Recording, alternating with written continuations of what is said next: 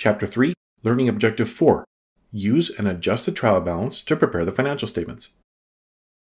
In Learning Objective 3, we saw that the adjusted trial balance is prepared after journalizing and posting all of the adjusting entries.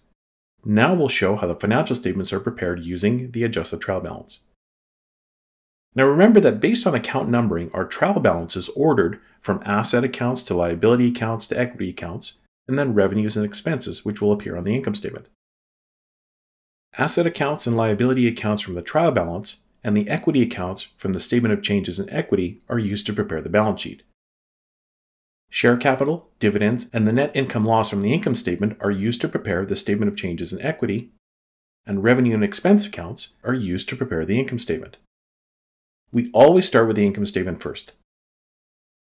So here on the left, we have our entire adjusted trial balance, and we construct our income statement by transferring the $10,700 in revenue and all of our individual expenses, which add up to $8,643, resulting in income of $2,057.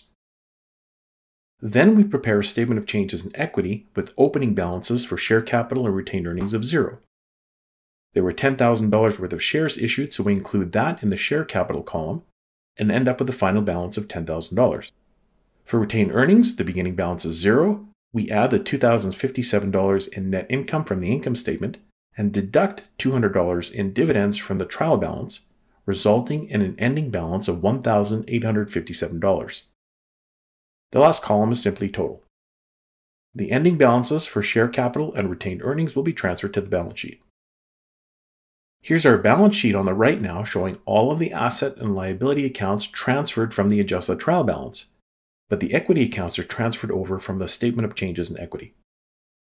Total assets are $19,175, total liabilities are $7,318, and total equity is $11,857. The total liabilities and equity add up to $19,175, which equals our total assets.